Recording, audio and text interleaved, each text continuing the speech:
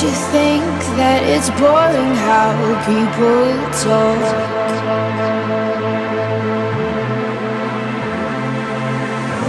Making smart with their words again. Well, I'm bored.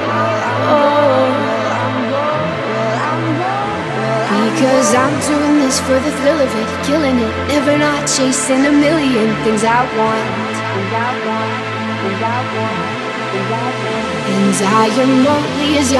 So I think I got the look down. This is something I've never done before. I'm just gonna finish it off with the Tarteist mascara and I'll show you guys the final, final eye look.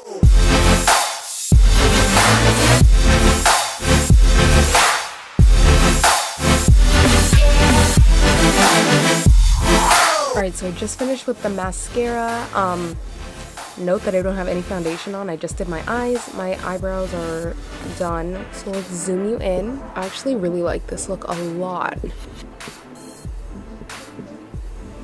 I've never done a look like this before. I know I always use like same tones, like orange, neutral browns kind of. This is different. I like it. And adding mascara always makes the look pop, so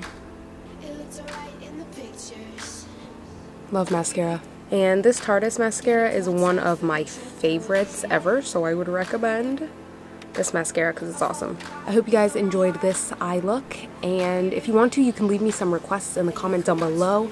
I would love to take requests, and yeah, I'll talk to you guys in the next video. Bye!